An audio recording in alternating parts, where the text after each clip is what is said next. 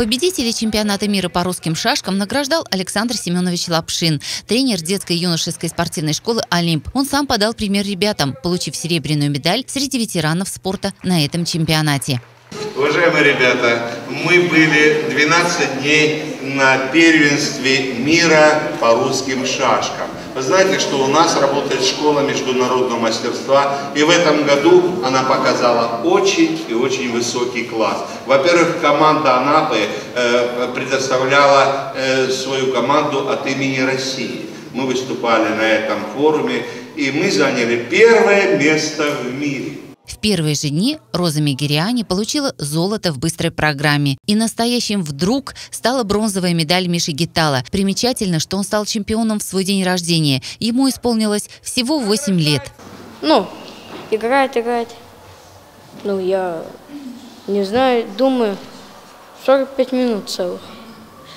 Думаю, думаю, думаю. А что делать? Опа. На, кушайте. Раз, два, три, четыре. Все. И выиграл, да?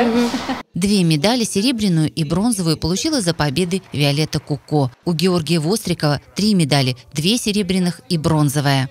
Ну, я раньше занималась музыкой, потом э, мы узнали в шашки. Я раньше с мамой играла в шашки, а потом мне просто нравилось это, я пошла в шашки, а музыку я бросила, потому что больше лучше шашки. Я хожу почти каждое утро на шашки, в 8 утра уже звоню ему когда, во сколько будут шашки. У меня была сложная позиция, и мне не осталось ходить. У меня только был один ход. Я увидел второй, ну, отдал там, отдал, пробил четыре. Ну, хочу стать мастером спорта и тренировать других детей. Вот такие юные таланты под руководством опытного тренера принесли славу Анапе и России. Лариса Басова, Александр Кореневский, Анапа регион.